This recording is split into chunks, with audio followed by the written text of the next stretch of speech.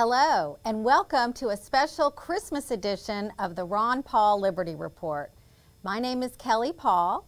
I am Ron's daughter in law. I've been married to Senator Rand Paul for 31 years, and today I have the extreme pleasure and privilege of interviewing my amazing mother in law, Mrs. Carol Paul. Carol, it's just such fun to be able to do this today. I know everybody out there loves you and is always asking about you. They want to see more of Lovey, as you are known to our family. Uh, you are someone I admire so much. You're not only an amazing support to Ron, but you are a true matriarch. You're the true heart and soul of our family. Last night was the perfect example as we had our pre Christmas gathering of how many people did we have last night? Well, last night uh, we all circled the whole kitchen and dining area, and uh, after uh, the prayer, uh, they decided to count off to see how many there really were there for dinner, and we had 52. Pretty amazing. yes, just my kids. yeah, just kid now, just kids and grandkids because that's true. You know, my husband, you know, Rand is one of five. You have five kids. How many grandkids? 19 grandkids and 11 great grandkids. Including the newest. Oh, yes. Uh, Finley is um, six or, yeah, or seven uh, months. Six or seven months. There, the thing I love about the Paul family is when you have a family this big, there's almost always a new baby or at least a toddler, which makes Christmas and the holidays so special. It really does. And so much fun. Yes. It really is. What are some of your favorite traditions that we do at Paul Family Christmas? Oh, goodness, we have so many and they go back so far. Give me a give me I a know. Well, for me, I, I I love the singing. We have. Oh yes, okay. Singing is really great. Uh, our oldest grandson uh, plays the guitar, and uh, our uh, granddaughter, who has four little stair steps from uh, 12 down to 5, and uh, more. We have kids that have come in from, uh, let's see, where who came the farthest? I hadn't thought well, about that. so we all fly in like of the 19 grandkids, and we took this, that amazing picture last night because they were all there, the 19. So uh, I have. We have three sons in our family, one in Washington, D.C., one in Cincinnati, and one in Norfolk, Virginia. They all flew in. Okay. And we had quite a few from here. But, uh, Valerie's from there Valerie's our Kentucky. fellow Kentuckian like Yeah. us. Of course, Yeah. Rand and I flew in from Bowling Green, well, Nashville, our closest airport, with our son Duncan, Mm-hmm. and his girlfriend lives in Bowling Green, so we all flew together. I thought that was nice. It we had different people picking up different people at every seemed like every other air stop in the Yep. all day long. But we're really, really, really fortunate. It's the first time that we were able to get a picture of all 19 grandkids all there at the same time. Somebody always has something going on that they have to be somewhere or other, but the 19, it was uh, exciting to have them. We didn't try the 11 little ones because they don't always sit for a picture, but yeah, but yeah. they did. No, I think we did actually Oh, get did one. you? Yeah, we did. We Oh. did get a great grands too. So oh, that's great. But yeah, you're right. Um, Matt has always been the leader on the guitar, uh, but then now, of course, we have Laura's husband Kent plays guitar. Our sons play guitar, so someone's always picking up a guitar. And then Matt's son was on the piano too. Well, all of them play the piano, but they're all, you know, some very beginners. But uh, no, we're really proud of all of them. That we have some, we have some great athletes coming up, and uh, that's exciting. We have, we always have a sporting event to attend if we can. Yeah. Well, when people ask me to describe Paul family Christmas, this is the way I describe it. I say the great thing about a huge family when you have a, this big gathering is that there's all kinds of things going on. If you want to go out and play basketball, there's probably somebody outside playing basketball. If you want to do a puzzle, you know, Lovey's got the great puzzle table. yeah, I do have that set into the garage this year, but. Yeah, we uh, had a we have an overflow room for the puzzlers this year. There's always somebody sitting by the fire singing a Christmas carol or Yeah, they got warmed up last night, starting with uh, little practice sessions, but the, the girls did good, and the Vicky's boys. kids are amazing singers. Yes, they are. They uh, and uh, Caroline, being an only one coming from uh, Louisville, Kentucky. Louisville, Yeah, Kentucky, fellow but she likes to sing with them, and she's good too. She so- has a beautiful voice. Yes, she does have, and uh, and they like to sing, and they don't mind uh, being pressured, you know, into saying, "How about Yeah. your kids singing?" No, I Whoa, love that then about they're them. all up. They will stand up there and they will perform. I mean, I think my favorite songs that they do are "Happy Birthday Jesus" in sign signing language. That yes. is so beautiful when they all sing that. Um, we, you know, we do have a family member that's deaf, so it's just really moving when they do that song. And then my other favorite is when they do "Seek Ye First, the Kingdom Oh, of God." They're good. Yes, they're good. Well, uh, it was exciting uh, as we all held hands uh, around our centerpiece, and uh, one of I can't remember who started the grace. It's always whoever isn't ready, we call on them. Yeah. but uh, at the end of it, they were saying, "Everybody's here," and they said, "Okay, let's let's count off." I know. And then we counted off, and I think we got to 51 or 52, I think, yeah. with the new baby. So Yeah. it was really, it was a special night, and we It have three more nights of it. So I'm so excited If I make it to be part of to part of it all. I know I certainly I love all of our traditions and the food. Now you you are. You know, you're the the architect of all of these joyful traditions. The amazing Yeah. food, it's always delicious. The decorations, the sense of just family and togetherness. Um, Well, I couldn't do it all without a lot of help. So that uh, is really a good thing. Well, Uh, you are an amazing cook, and we have a lot of other great cooks in the family, but you started with the traditional Paul family recipes. You did these amazing cookbooks back in like the s- 1976. well, that was right? our secret weapon when Ron was running for office. And he said, a cookbook? but it has been well received. People and people have sent recipes from all over the country. Yeah, and you we started have- this, and basically people wanted more. to be on the Ron Paul mailing list so they would get the annual cookbook. Yeah. And you did what, 12 different years of these cookbooks? Yes. With, yes. Starting, I guess, basically with the, the, the fa- family Yeah, that- favorite recipes. That one's, Yeah. I think that's the first yeah. one. First cookbook. But it has So you have your snickerdoodles in here? the what? The, your snickerdoodle cookies? They are in there. They are. But we have my mother and Ron's mother both have recipes in there. The only thing I found out is that back uh, in their day when these recipes were put in, they used a higher temperature on the ovens because our ovens are so much hotter now. You have to drop down maybe to 350 instead of 375, even you know. Okay. But uh, uh, that was the only thing I've noticed that needs maybe corrected. I keep saying I'm going to put them all together one of these days and uh, do a finale book, but I haven't done it yet. I just keep telling myself I'm going What to. have you been doing with your time? Oh my goodness. Uh, I know, I know. I tell you, you would stay busy in our family just going to the sporting events that all the kids are in. And we are very lucky to have some very, very good and upcoming athletes, and we've had very good athletes. In fact, you wanted to know how I first met Ron. I did. Yep. So, so let's go into that a little bit. Let's tell a little history Well, here. The uh, uh, I guess I was in the eighth grade, and I had a friend who was a big senior in high school, and she was going to take me to a track meet. I'd never been to a track meet, so we went, and uh, just about the time that we got there, they were uh, running the 330, 340. Am I right? I can't remember. Anyway, it was a relay, or was Relay race. Relay. yeah. Yes, it was a relay race, and uh, our team was losing, and they were way behind. And Ron took the baton. He ran the whole. Uh, he caught up with everybody. Anyway, they won it, and I was very impressed. Of course. yes. Oh my gosh, that's pretty dramatic. yes, yes, it was, and especially for our first track meet. But Ron was a state champion uh, track, and he was good in the 330 and the 440, 440 and the 100, and uh, I knew he did them all the quick races, Wow. not the not the mile and things like that, but. Uh, he was good. Yeah, great athlete, super smart, and pretty good looking. Oh yes, I would say so. I would say so.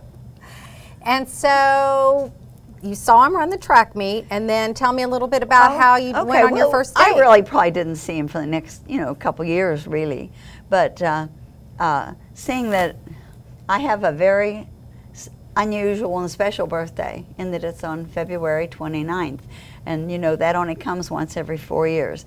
So my dad, from the time I was a kid, saying, oh, on her 16th birthday, we're going to hire a hall, we're going to do all this, we're going to, you know, he just would build it up and he'd go to the desserts we're going to have and all this kind of stuff. And he said, oh, we're going to have hollowed out candy bars with chocolate ice cream and vanilla on either end. he just, he just built it up. And then finally it came true, it had to happen.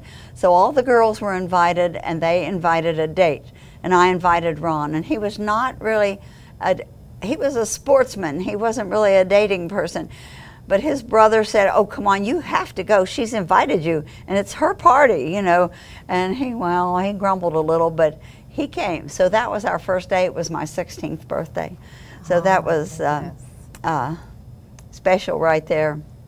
And I was going to tell you more about and it, but you I can't. and you all dated then the rest of high school, I guess. Well, off and on. I mean, we just uh, off and on, and then he went to college, and uh, well, I hadn't thought of this, but uh, we had a, my mother and I had a symbol. I lived about maybe a half a mile from the school. It was, it was over hill and dale, but you could see our kitchen window. And if I had a letter from Ron, she would hang the dish towel out the kitchen window, Oh. and I would know that I had a letter from Ron. That's when the I got first time. I've ever heard that. that is so sweet and romantic. Wasn't that? it. Oh, it was neat. Well, he was not a long letter writer because he was very busy being a good student and honor and all that kind of thing. And he ran track. No, he didn't. He ran a little bit. He had his knee injury, and so working to uh, rehab his knees, he swam on the uh, Gettysburg College swim team uh, to Oh, help wow. his running. I So, didn't know that uh, either. but uh, it, they were great years and uh, carefree and And so when did he propose marriage? well let's see oh i can't give you a date but i can tell you where we were uh, we were uh, we were in a park that the on a hill that overlooks the swimming pool. It was a 50 meter swimming pool. Mm-hmm. And that was something for those days. They didn't have them then. And we were sitting up on top of the hill and we were, you know, commiserating. I was at Ohio University and he was at Gettysburg and all this kind of thing. And so all of a sudden he pops up with his ring and he says, Well, you know, we got to finish school. so, but he gave me the ring that night, and I can't remember if my parents, I guess they knew about it ahead of time, uh, all that formalities of those things, Yeah. but I was excited about being engaged, and uh, we, uh, we finally married um, uh, his last semester of school. It was really fun on the campus because we got to be chaperones for the fraternity parties. oh, okay. So you were married while he was still in Uh, school then? Just, a three three months. The last three months of his college. You all were the old married couple. Yes, we were. yes, I had to uh, do my education quick so that I could make the most money to put him through med school. I didn't do it alone, of course. We had a lot of family help, but uh, we were uh, very fortunate to be able to do all the things that we had planned and. So right after graduation, he went to med school at Duke University, right? Right. And you all moved to Durham. Yes, and at Durham, to make enough money and you know pad our currency, uh, we we raised collie puppies, and so we had one uh, collie puppy that had 12 puppies one year, and we were so excited about these puppies and all. Of course, by that time we had two kids. They were uh, Ronnie and Lori were um like nine and a half months apart, and uh, they. Uh, the people back in Pennsylvania when we were at Duke wanted to meet these kids and see these kids for the first time. So we had to go back. So we had to raise these we raised these puppies and sold them to make enough money for gas. And Ron knows all the statistics. He'll say he had X number of dollars in his pocket and that had bought gas all the way to Pennsylvania and back to North Carolina. But uh, so you got to go home for the holidays and show off those new babies. Yes, yes, my beautiful children. Selling that little. yeah. Then of course we added three more to end up having five, which made it uh, rounded it out. Uh, we uh, we had a boy and a, a girl, and then three boys in a row after that. so two boys Two in a row boys after that. Yeah. after that. Rand Three- and yeah, Ro- total, Robert. yeah. And then, then we the had star was the- born. icing on the cake. Yeah, we had baby Joy. Yeah. Yes. And baby Joy, of course, is a doctor now, an OB doctor. So she's grown up and has six kids. So she did add to the numbers. And uh, She did. Joy did more than her part. I always say Joy makes me feel like a low achiever in life. She's an OBGYN, Yeah. successful busy practice, and mother of six amazing kids. I know So they are. They are. I'm proud of all of them. I mean, they are uh, great. 19 grandkids is a is a great thing. And did I tell you that we counted off? Yes, we did. Yes, we, did last we- night, yes, and that. So I yes. think a couple may be leaving today, so our numbers will be a little bit diminished tomorrow. But we'll still probably have in the high 40s for the rest of the weekend. I Oh think. yes, I think we will because I think we have some extra people. Oh, that, good. That couldn't stand not coming and seeing the crowd. So It's always fun when everybody we'll drops have some in. drop-in people. I'm i know sure. my kids were already up this morning. My well, my kids, my sons, they're grown now, but they were their favorite thing is always waking up at your house and having the pigs in a blanket. that they can always smell those pigs in the blanket cooking, and you're pulling them out of the oven, Um, and that, well- and the and the array of Christmas cookies that Yes, are I know. everywhere. Well, I couldn't do it all without Flora. I have Yeah. this wonderful friend that has worked for me for almost well 15 years, maybe more. She she knows better than I do, but uh, we couldn't do it without her. Oh, she's amazing. Yeah, I love her she so is. much. She She's, is, she was- absolutely. she's so amazing. So, but I've been so happy to do all the things that go with along with kids. You know, going to all their events and things like that. And uh, my mother and dad wanted to be part of all that, and they moved to Texas, and their last few years lived with us. But Kelley brought samples. Uh, So this is how the other thing that you are amazing at, uh, in, in addition to your many other accomplishments, is you're an incredible seamstress and knitter. And I want to talk a little bit about the, the all of the things that you make for the grandkids. But these are some of the the stockings that Graham made for my mother, for the grandkids. My mother knit those. Yeah, and so my boys loved those. And then by the time I had my third son, Graham was had retired from the She had a cataract surgery. Oh, that's right. Yeah. And so you made uh, Robert's stocking, and I, Yeah. I have it, but it won't show up on the green screen. But it's twice as long as the other one. So you. But I always- knit it. you did it. You knitted that one.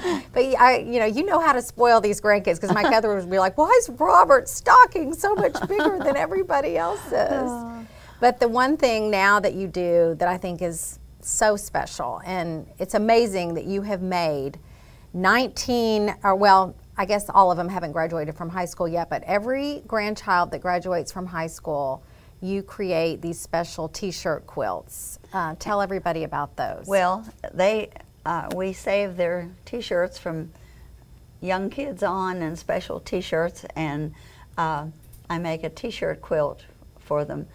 And the one that's coming up hasn't gotten me his shirts yet, and he's in trouble. Oh yeah, they got it. I remember telling my boys, but then when you made them as their high school graduation gift, they are so special. All my sons ha- took them to college, and they'd have them, and people would be like, "Oh my goodness," you know. We you basically say save all your sports or your band or your fun dances or things that you go to. You have all these commemorative shirts, and it's just such a really cool way to keep those. Well, and then Rand wanted one for all his political things, so we did make him uh, one, and he had it in Washington for a while. I don't know Oh, whether he has it. It's, still in Washington. It's very prominently displayed in his office. You Yeah. did because he was like, "Wow!" When he saw one of our kids, he's like, "Mom, I want, I need one of those." and so you took uh, a lot of not only his Rand Paul T-shirts and campaign shirts from the first Senate race and the second, but some vintage and really cool Ron Paul shirts from like back in the 70s and Some were kind of thin. Rand had worn them a lot of times. Yes. And I worried about putting them in the quilt, but they're have good backing, I think. yeah, no, you made such an amazing piece of art out of those shirts, and I have to thank you because Rand never wants to throw anything away, and he will like wear a shirt until it's completely got holes in it. So this way he can kind of keep it. He doesn't have to throw it away. He has this great memory of some of these shirts because he loves. He loves to keep things long Well, long all- term. Boys and girls all like the shirts, so I mean, Yeah. it's it's one thing that they think about, and I keep worrying about, you know, that I'm not as good as I used to be. It's pretty amazing how many of those that, that you have Yeah, made, and you I've also make other beautiful quilts. I mean, you're Well- you are a true artist. well, the uh, all my new brides usually got a quilt, so we'll Mm-hmm. see if I can keep that up. That's and it's usually a king or queen size quilt, so that's uh, takes a little.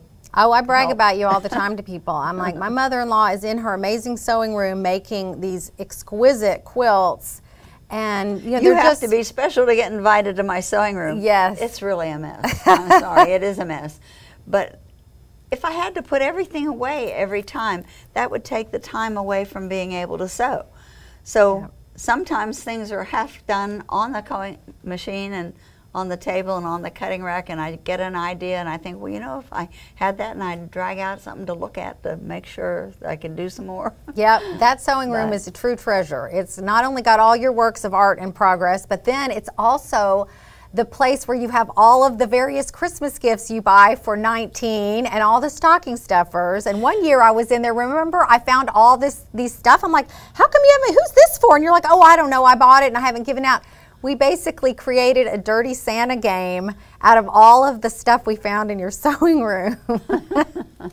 It was a lot of junk. but we had good things. We had some too. fun Yes. things. I still have a tablecloth in there that mother embroidered and different things that I haven't that are really kind of are new, but they're old, old pieces Yeah. of work. But uh, mother was good at, at handwork too, so that was uh, kind of Yeah. fun to carry on that tradition.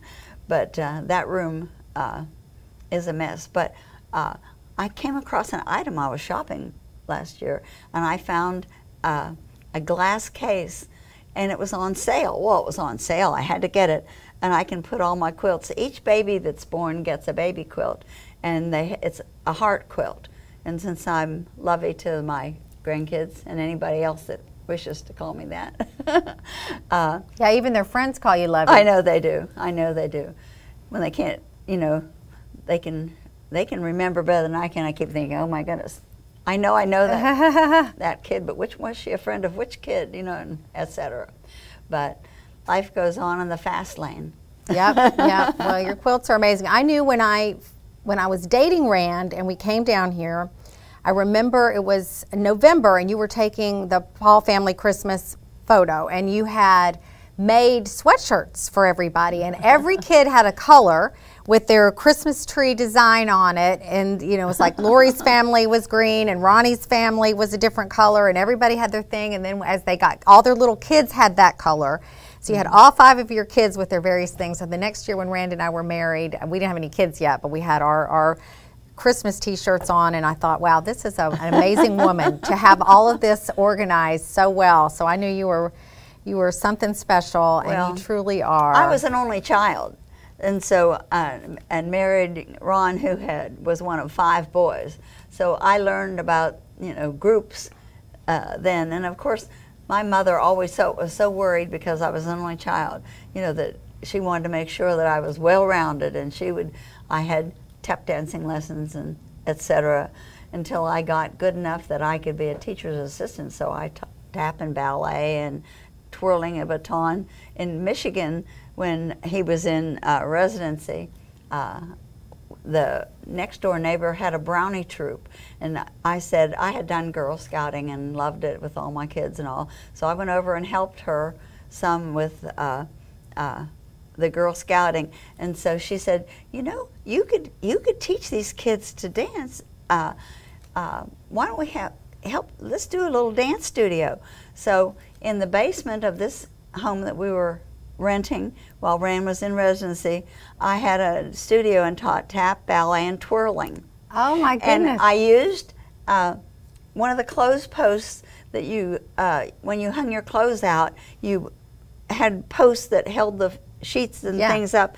So I put it on the wall and made a ballet bar out of that. And the floor was just tile, so we did the tap dancing on that floor. And that was when we were in Michigan. And uh, so uh, I taught probably uh, a year before Rand was born. Okay. I can gather which kid, you know, was in on the dance studio. But we've done a lot of things and we've made it. So, and we worked Yes. hard and we loved every minute of it. I mean, it's been, Yeah. uh, it's been a wonderful life. I feel like Ron has given so much to his country.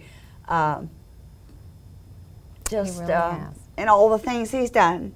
Yes, but you know, you are the support. You are the you are the person that has made life so joyful and so incredible that he could do that. And I and, try, yeah. And you know, I well, let's just close with one fun memory that I had that you told me about. And another political wife. When uh, former First Lady Nancy Reagan and Ronald Reagan came to campaign for Ron, what she Yeah, told they, you. They did. Uh, as they were leaving, uh, Nancy Reagan uh, gave me a hug and said, "Oh, I hope our Ronnies win." I just think that's so endearing and Yeah. sweet. Well, she was so cute. She was really a lovely lady.